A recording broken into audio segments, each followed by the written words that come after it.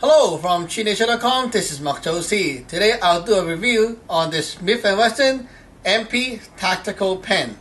This is the pen here and it's fully made of metal, very tough and it looks like a pen here that you can write on this end but then it's not. Here's a cap. You pull this open and this is the pen. You can use the cap to put on here to protect this end and you can write. So we have cardboard and we can write can write, okay?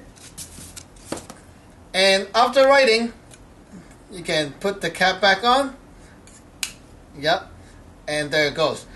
This is also a weapon, so this end is used for striking.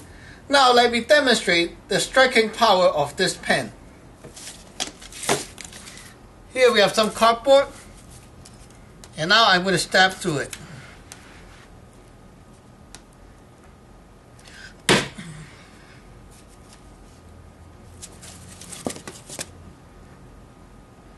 Like that.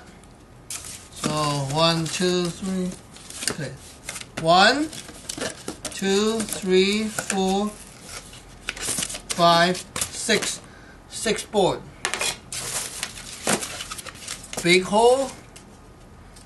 Okay, now steel can like that. Okay, no damage. Okay, no damage whatsoever.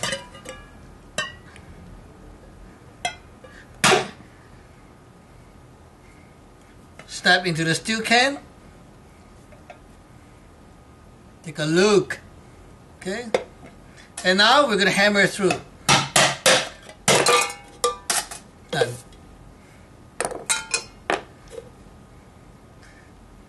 Okay.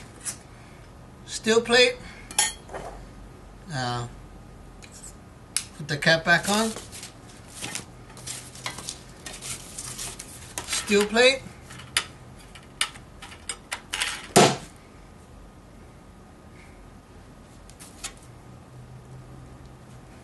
It breaks. Look at that. Very cool tactical weapon. Smith & Wesson tactical pen. Enjoy.